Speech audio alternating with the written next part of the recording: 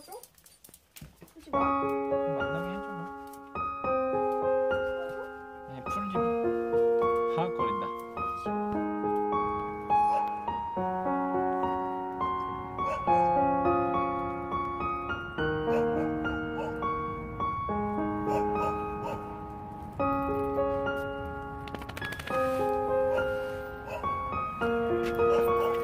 공자야.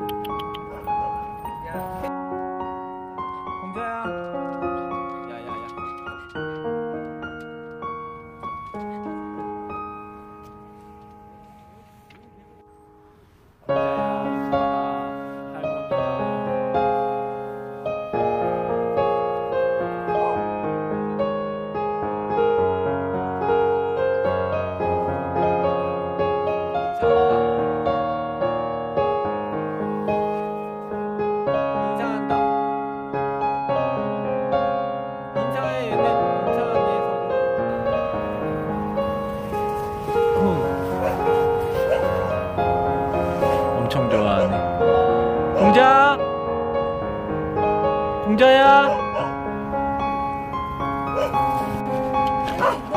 내가 봐,